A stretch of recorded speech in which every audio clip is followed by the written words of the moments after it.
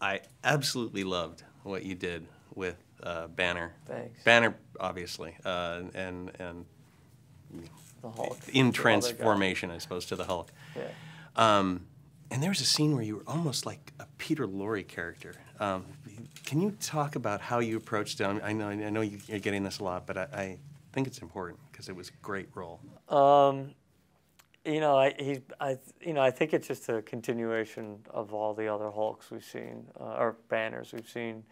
Um, the difference being is that he's been on the run for another five years. He ends up in Calcutta, um, and he's finally at that point in, in his life uh, where he's just more mature and he's he's tired of running and uh, he's ready to face himself and his demons, you know, and um, the inkling starts to come to his mind that possibly he has some sort of mastery over this beast.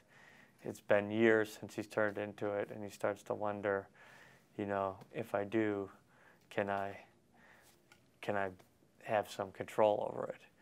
And um, he's just a very, you know, he's covered, you know, he's, he's, he's, he's meek. He's, uh, he, he's, he's the exact opposite of, of Hulk. He's peaceful, he's kind, he's considerate, and he's knows the destruction that he's created and can create and is always weary of that. We're not a team. We're a time bomb.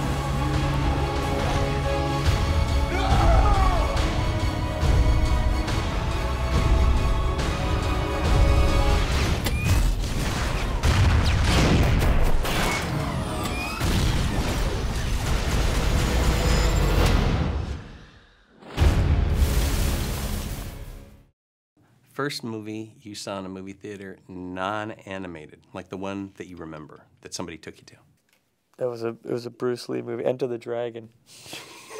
How old were you when you went to Enter the Dragon? I was really really young. I was probably like eight. Who took you? Um, my dad. I begged my dad to take me. How do you use IMDb?